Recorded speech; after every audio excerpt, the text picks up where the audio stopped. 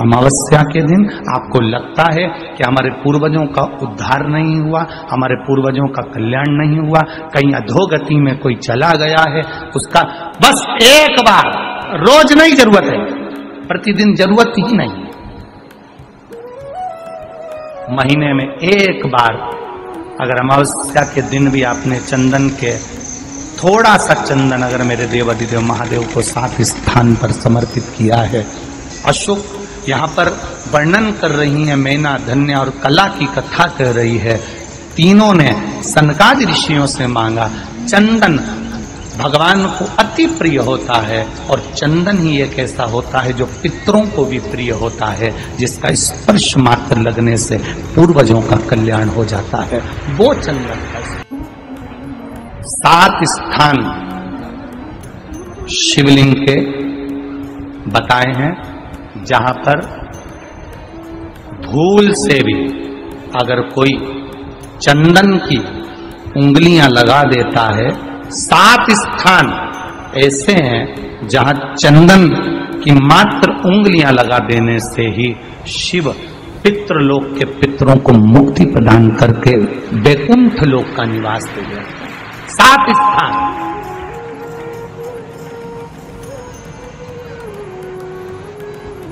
और वो सात स्थान जो चंदन के बताए गए पहला, भगवान देवादिदेव महादेव के शिवलिंग पर चंदन का लेपन।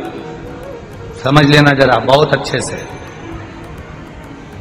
आपको लगता है, स्वप्न में कोई मुर्दे दिख रहे हैं, या कोई जल रहा है, या कोई मर रहा है, या कोई चला गया है, ऐसा भय लगता है। बच्चों को मानी भेजूँगी, ऐसा हो जाएगा। पति को मानी भेजूँगी, ऐसा हो जाएगा। कोई हमारे कन, कोई गलत तो नहीं कर रहा है। आपको लगता है, सात स्थान चंदन के बताए महाराज। पहला शिवलिंग, दूसरा जहाँ गणेश जी का स्थान है। मालूम है ना सबको? जम के बोलो जरा। मालूम है ना सबको? जहाँ गणेश जी का स्थान है, वहाँ। अलग से गणेश जी बैठे वहाँ नहीं। शिवलिंग में जलाधारी के ठीक सामने राइट में गणेश लेफ़्ट में कार्तिकेय बीच में अशोक सुंदरी। तो पहला चंदन बाबा के शिवलिंग पर, दूसरा गणेश जी पर चंदन की उंगली, तीसरा सदानंद कार्तिकेय पर चंदन की उंगली, चौथा अशोक सुंदरी पर चंदन की उंगली, पांचवा जलाधारी पर चंदन की उंगली छठा जो शिवलिंग का जल बह रहा है, इसके ठीक विपरीत की ओर चंदन की उंगली और सातवा चंदन। नंदी के मस्तक के ऊपर जो दो सींग लगे रहते हैं, उस पर चंदन की उंगली। ये कब लगाई जाती है? या तो अमावस्या के दिन आपको लगता है कि हमारे पूर्वजों का उद्धार नहीं हुआ, हमारे पूर्वजों का कल्याण नहीं हुआ, कहीं अधोगति में कोई चला गया है, उसका बस एक बार, रोज नहीं ज़रूरत है। प्रतिदिन ज़रूरत ही नहीं। महीने में एक बार अगर अमावस्या के दिन भी आपने चंदन के थोड़ा सा चंदन अगर मेरे देवादिदेव महादेव को सात स्थान पर समर्पित किया है।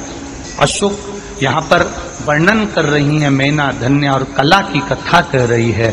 तीनों ने सनकाद ऋषियों से मांगा, चंदन भगवान को अति प्रिय होता है और चंदन ही एक ऐसा होता है जो पितरों को भी प्रिय होता है, जिसका स्पर्श मात्र लगने से पूर्वजों का कल्याण हो जाता है। वो चंदन का आपके घर में पितृदोष है।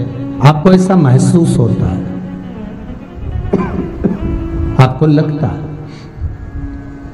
तो किसी भी नवरात्रि के पहले जो अमावस्या पड़ती है अपन अमावस्या पड़ी। आप एक अंदाज़ा लगाइए। तो जिस दिन अमावस्या रहे, उस दिन चावल की कटोरी में एक कपूर का टुकड़ा रख दीजिए महाराज, छोटा सा। और कपूर का टुकड़ा रखकर उस कपूर को दरवाजे के बाहर, कटोरी में ही, चावल रखी हुई कटोरी में ही उसको पितरों का स्मरण कर जला दीजिए। और जलाने के बाद उस चावल को कहीं भी किसी भी वृक्ष की छांव में पक्षियों के लिए डाल दीजिए।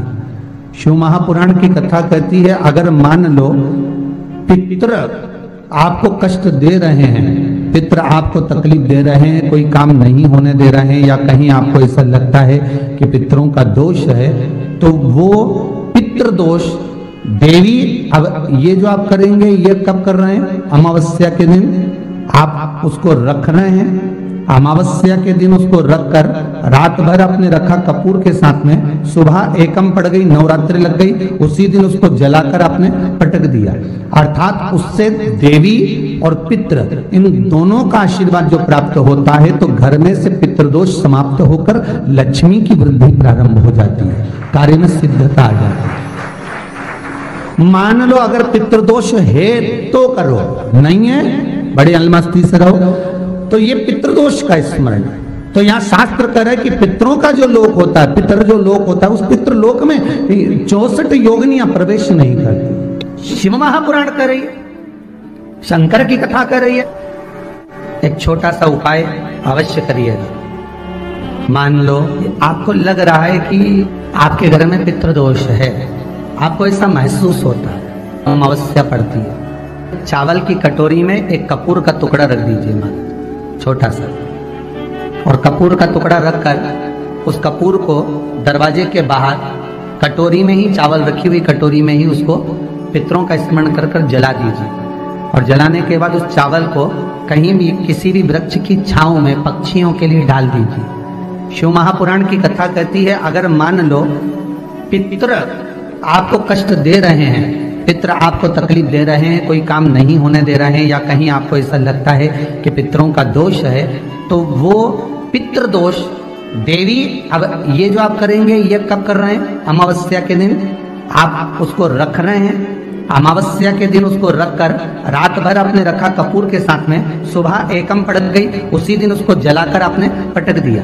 अर्थात उससे देवी और पित्र इन दोनों का आशीर्वाद जो प्राप्त होता है तो घर में से पितृदोष समाप्त होकर लक्ष्मी की वृद्धि प्रारंभ हो जाती अमावस्या के दिन दिन प्रदोष काल में, प्रदोष के समय पर, प्रदोष काल में शाम के समय पर जाकर किसी भी नदी, तालाब, बावड़ी, कुआँ, कहीं ना कहीं जो आपके पास में हो, वहाँ पर एक घी का दिया, बत्ती का मुँह दक्षिण की ओर कर कर अवश्य जला कर जाना, सारे पितृ दोष समाप्त हो जाएगा। अगर नदी, तालाब, बावड़ी, कुआँ नहीं है तो पीपल का वृक्ष हो, या बेलपत्री का वृक्ष हो, या बट का वृक्ष हो, उसके नीचे लगा दो प्रदोष काल में। पर अमावस्या के दिन लगाएँ ज़रूर। क्यों? क्योंकि अमावस्या 16 दिन तक पित्र मृत्यु लोक में आने के बाद में भोजन ग्रहण करते हैं।